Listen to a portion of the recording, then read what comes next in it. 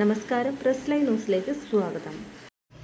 കുറ്റം ചെയ്ത ആളുകൾ ശിക്ഷിക്കപ്പെടണമെന്ന് നടൻ മോഹൻലാൽ. ഹേമ കമ്മിറ്റി വിവാദങ്ങൾക്കിടെ ഒളിച്ചോടിപ്പോയതല്ലെന്നും വ്യക്തിപരമായ പ്രശ്നങ്ങൾ കാരണം കേരളത്തിൽ എത്താൻ പറ്റാതെ വന്നതാണെന്നും അദ്ദേഹം പറഞ്ഞു. അതേസമയം മോഹൻലാൽ എവിടെയായിരുന്നുവെന്നും ഒളിച്ചോടിപ്പോയോ എന്നുമാണ് ചോദിക്കുന്നത്. ഞാൻ ഒരിടത്തേക്കും ഒളിച്ചോടിപ്പോയിട്ടില്ല. ഭാര്യയുടെ ചികിത്സയുമായി ബന്ധപ്പെട്ട് തിരക്കിലായിരുന്നു. കഴിഞ്ഞ നാൽപ്പത്തിയേഴ് വർഷമായി നിങ്ങൾക്കൊപ്പം സഞ്ചരിക്കുന്നയാളാണ് ഞാൻ. സിനിമ സമൂഹത്തിന്റെ ഒരു ഭാഗം മാത്രമാണ്. മറ്റെല്ലായിടത്തും സംഭവിക്കുന്നത് സിനിമയിലും സംഭവിക്കും.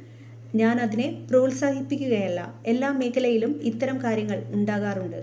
ഹേമ കമ്മിറ്റി റിപ്പോർട്ട് വളരെയധികം സ്വാഗതാർഹമാണ്. ഞാൻ രണ്ടു വട്ടം ആ കമ്മിറ്റിയുടെ മുൻപിൽ പോയിരുന്ന് സംസാരിച്ചയാളാണ്.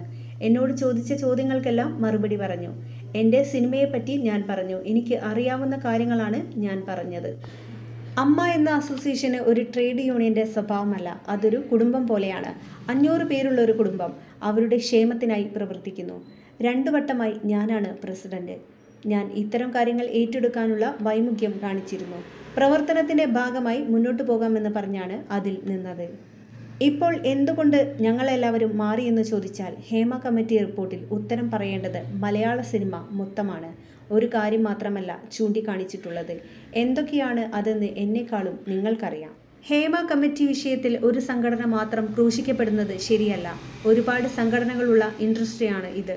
എല്ലാവരും ഇക്കാര്യത്തിൽ സംസാരിക്കണം. കുറ്റം ചെയ്ത ആളുകൾ ശിക്ഷിക്കപ്പെടണം എന്നാണ് എന്റെ അഭിപ്രായം. എനിക്ക് പറയാനുള്ളത് ഇതാണ്. ഞങ്ങൾ എന്താണ് ചെയ്യേണ്ടത്? ഒരു ഇൻഡസ്ട്രി തകർന്നു പോകുന്ന കാര്യമാണിത്. പതിനായിരക്കണക്കിന് ആളുകൾ ജോലി ചെയ്യുന്നു.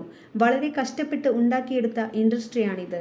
ഒരുപാട് നല്ല ആക്ടേഴ്സ് ഉണ്ടായിരുന്ന ഇപ്പോഴുള്ള ഭാവിയിൽ ഉണ്ടാകാൻ പോകുന്ന ഇൻഡസ്ട്രിയാണിത്. സിനിമ ഇൻഡസ്ട്രിയെ തകർക്കരുത്.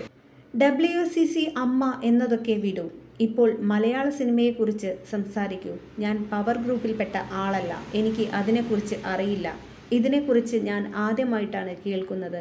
റിപ്പോർട്ട് വരട്ടെ. കാത്തിരിക്കൂ എന്നാണ് മോഹൻലാൽ പറയുന്നത്.